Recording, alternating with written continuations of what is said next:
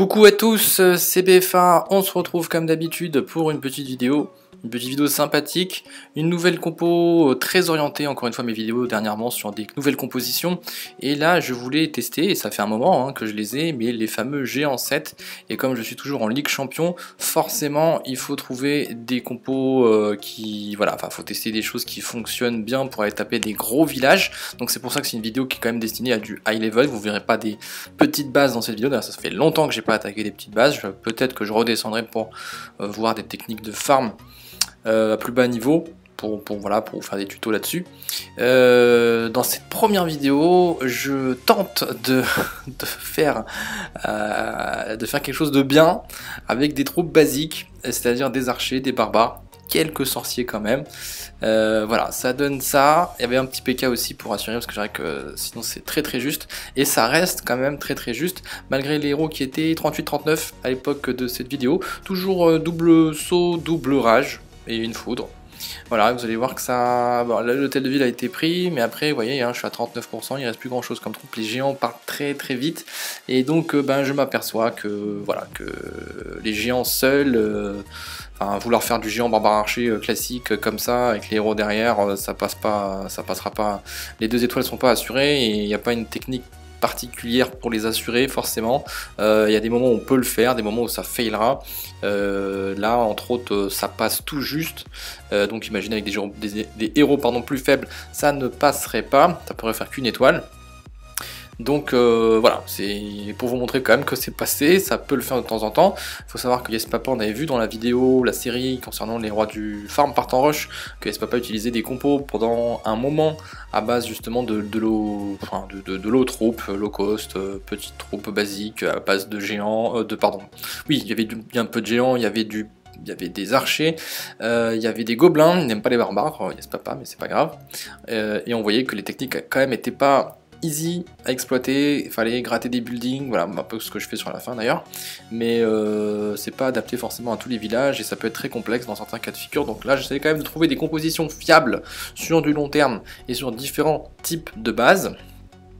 Donc, euh, par contre, là, je le fais à base de géants. Donc, j'ai trouvé quelque chose qui marche pas trop mal. Là, je refais un test avec 20 géants, et par contre, je mets 3 euh, golems devant.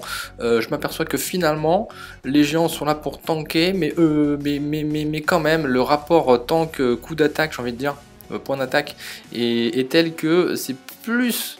Enfin, c'est plus l'attaque qui compte sur le géant que, le tanking et du coup ils ont besoin d'être protégés.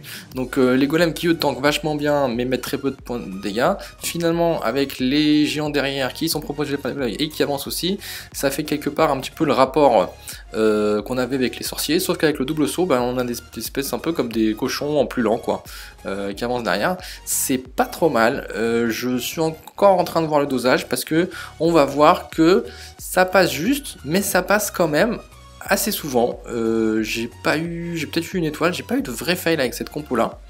Euh, je vous parlerai après d'une compo, euh, ceux qui me suivent en live on peut voir que fail et des réussites aussi sur une compo très innovante que je trouve mais qui est pas fiable encore. mais je vous montrerai ça après, je garde la surprise. voilà, bon pour ceux qui, qui ont vu les lives c'est pas une surprise mais ils savent peut-être de quoi à quoi je fais allusion. Euh, là pour l'instant ça reste toujours à base de géants. Donc 3, euh, pardon, 3 euh, golems devant, 20 géants derrière celle-là. Après je vais faire des variantes à 16 géants, ça passe bien avec 16 géants, des sorciers et un PK. Château de clan, donc lui-même le château de clan contient un golem et un géant. Euh, donc ça fait 16 dans mes camps plus 1 dans le château de clan, ça fait 17 géants au total. deux golems dans mes camps et un dans le château de clan. Et on va voir après, je me rappelle plus exactement le, nombre de sorciers que ça fait, puisqu'il y a un PK, j'ai dit, le reste en sorcier et un archer et un euh, pardon, un serviteur ou une gargouille, comme vous voulez, mais j'aime pas trop le mot gargouille, voilà, donc ça donne 18 sorciers, voilà, 18 sorciers très exactement.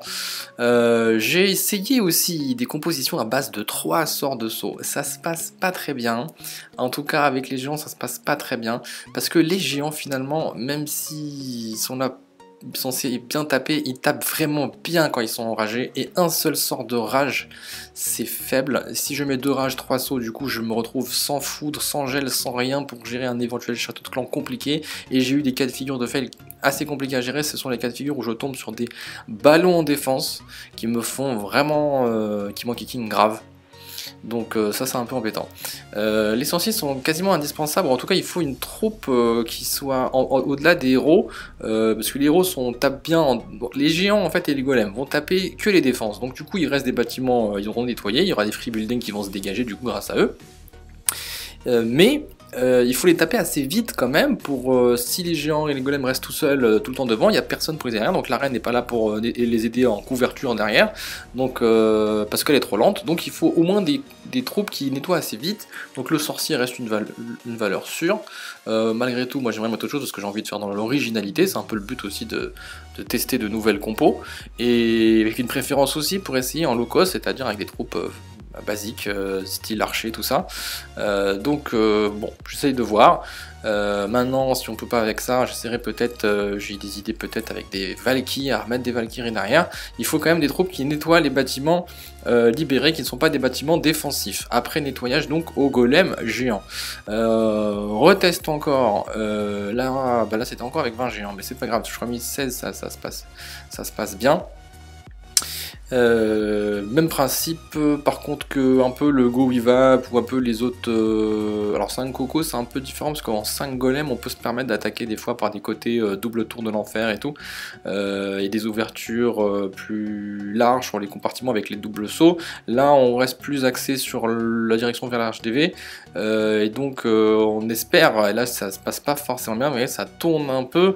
Ils vont pas forcément sur les bâtiments défensifs qui rentrent. Donc, la tour de l'enfer a pas été prise dans ce cas elle sera prise après, regardez, il retourne dessus, voilà, une fois que c'est fait, une fois que les, bâtiments sont trop loin, donc après il avait le mortier en haut euh, qui était trop loin, le canon qui était par-dessus un truc, donc ils reviennent, et là ils prennent bien les coups, voilà, ça protège bien les héros, les héros sont encore bien, par contre, euh, il n'y a pas, les sorciers sont vite plus là, hein, et ils sont vite plus sous couverture, parce que eux, les sorciers, encore une fois, ils vont progresser sur les bâtiments euh, libres à côté d'eux, alors que les golems et les et les, géants bah, vont focaliser très vite, se débarrasser des défenses.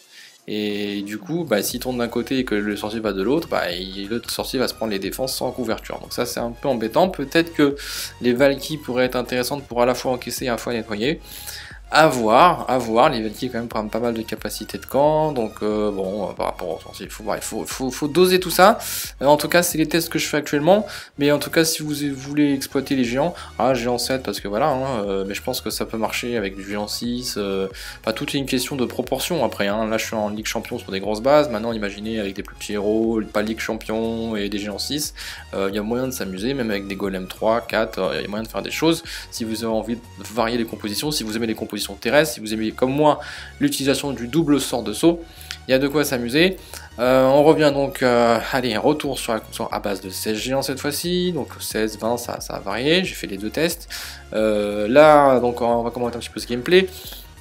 J'ai volontairement mis un golem qui va vers la tour d'archer à droite, ça permet aussi de gratter avec les sorciers qui sont protégés et qui peuvent taper euh, à la fois euh, les bâtiments qui sont là, ça va gratter, ça va aider au 50%. Par contre, j'ai un tout petit peu fail avec mes doigts. Euh, les vous voyez, il y avait deux lignes, j'avais mis mes deux doigts en même temps, ils n'étaient pas assez serrés, ce qui fait qu'il y a les gens qui sont partis un peu sur le côté, mais qui vont revenir. Mais bon, c'est un problème de, de séquence. Là, j'enrage euh, tout de suite. Le premier rage, c'est important pour qu'ils vite progressent. Les géants qui tapent fort, sinon ils vont prendre trop de coups et du coup ils vont mourir sans avoir fait de dégâts. Les ballons, par contre, sont gérés à la foudre tant bien que mal. Heureusement qu'il y a la reine derrière. Si elle ne serait pas là, ça pourrait être compliqué. Là, ça se passe pas trop mal. Mais encore une fois, c'est une composition qui s'essouffle assez vite. C'est pour ça que je dis qu'il manque quelque chose encore euh, pour gratter. Regardez, là, au milieu de terrain, là, les, géants, ils tiennent plus, hein, ils tiennent plus assez bien. Euh, les golems sont toujours là, ou enfin ce qu'il en reste. Et parce que là, c'est difficile en fait de faire perdurer les sorciers derrière ça. Peut-être utiliser des sorcières, je sais pas. Faut pas qu'elles se plantent non plus. Euh, voilà, faut pas qu'elles se prennent des coups de mortier. C'est à voir, c'est à voir. En, tout cas, je voulais vous faire partager euh, ces, différentes, ces différents essais que je fais.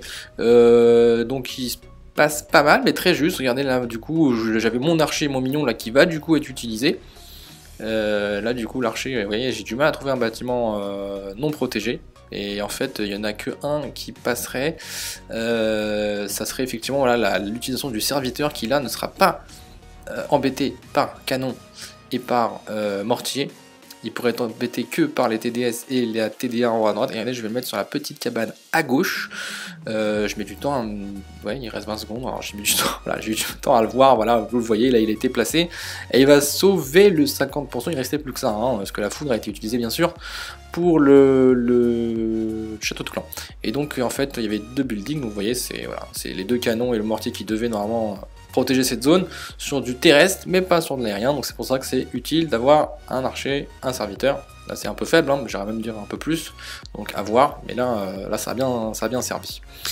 Euh, qu'est-ce qu'il vous reste comme gameplay Là, je pense, je vous parle, je regarde. Oui, il en reste un autre où, là, pour le coup, ça se passe bien. Il suffit que vous tombez sur un village qui est un peu plus faible que les autres. Un peu, un peu plus faible à quel niveau? Celui-là est un peu plus faible dans le sens où il a son roi qui n'est pas là et le château de clan qui était vide. Et bien du coup, euh, voilà, ça, fait une grosse faiblesse. Le design est assez connu, il est très répandu apparemment, euh, il est censé bien marcher, parce qu'il y a j'en vois de plus en plus en Ligue Champion qui utilisent ce design-là. Moi, il me pose pas de soucis en 5 gogo, il me pose... Euh, alors je l'ai pas testé au GoGiveUp celui-là, parce qu'à l'époque je le voyais pas trop. et là au géant, ça va donner ça je l'ai déjà fait au. Je crois qu'on. Euh, peut-être pas sur les gameplays qu'on a vu, mais je l'ai déjà fait au, géant euh, quand il y avait des troupes dans le château de clan. Et le roi et la reine, tout ce qui va bien. Euh, je sais qu'en aérien, certains ont des problèmes avec, mais après, bon, une fois qu'ils ont trouvé la, faille, ils s'en sortent. Hein. là, regardez, ça a bien rasé et ça se passe bien. Les défenses sont pas ridicules, hein, c'est que les murs hein, qui sont un petit peu plus faibles. Mais regardez, les Tesla sont max, les TDS sont max, les, tout est max, hein. Il n'y a pas de... Peut-être... Non, même pas tour d'archer aussi, elles sont max, tout est max. Et ça se passe nickel. Euh, là, c'est bien quand vraiment c'est passé des trois côtés, c'est-à-dire ça a fait le tour de la ceinture à droite, à gauche, il reste encore un peu de sorciers. Peut-être que je devrais faire attention avec mes sorciers pour en envoyer pas trop tout vite et attendre un petit peu plus le nettoyage avant de renvoyer quelques sorciers pas prendre de trop non plus, parce que bien sûr, sinon les troupes devant ne ah bah, sont pas assez protégées par ceux qui snipe derrière. Et bah là, ça va être une bonne surprise puisque nous allons aller au 100% comme vous le voyez, même si les héros sont pas tout à fait frais, il reste plus qu'un malheureux canon, et en plus euh, qui tapait sur le golem, euh, un golemite, donc c'est parfait, ça fait un 100%, ça fait plaisir, ça montre que quand même on peut faire des choses, on peut faire des choses avec les géants en Ligue Champion, voilà, il faut le savoir, on peut faire des 2 étoiles, on peut faire même un 3 étoiles quand on est on tombe sur une petite faille au niveau du, du CDC qui était vide, des choses comme ça. Donc c'est bon à savoir. J'espère que cette vidéo vous aura plu. Euh, n'hésitez pas à faire vos tests. Euh, donc là c'était un premier jet, voilà ce que ça donne. Euh, si j'arrive à encore améliorer et voir quelque chose d'encore plus performant, parce qu'on a vu qu'il y a des moments qui étaient un tout petit peu juste sur le deuxième étoile, on a vu que quand même une étoile était assurée. c'est sur la deuxième. Et j'ose imaginer que quand même ce type de compo, du coup, euh, même en master, euh, peut vous servir énormément. Surtout si vous n'avez pas beaucoup, euh, enfin je sais pas, si vous voulez pas utiliser trop d'élections sur des PK ou des choses comme ça. le géant, c'est pas c'est pas une troupe trop chère et en plus qui est rapide à former puisque c'est 2 minutes seulement pour 5 capacités de camp. Merci à tous, n'hésitez pas à liker, commenter, partager, euh, donner votre avis, euh, éventuellement faire des tests, ça m'intéresse aussi vos tests euh, sur cette composition et des variantes de cette composition. Merci à tous et à très bientôt, ciao ciao